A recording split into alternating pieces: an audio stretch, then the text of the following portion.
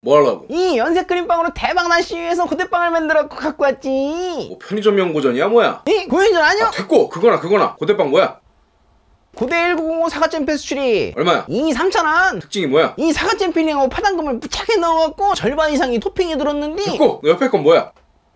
사전에 참을성이 없어져. 연세면 크림빵 2,700원. 그건 왜 가져왔어? 이 편의점 연구전 해보려고 갖고 왔지. 아깐 고현전이라며 이- 아, 됐고 이제 먹어봐 아니 내가 말을 시작도 안 했는데 됐고 쓸데없는 소리 할 거잖아 전면 보여드리고 먹어봐 자꾸 관심법을 써.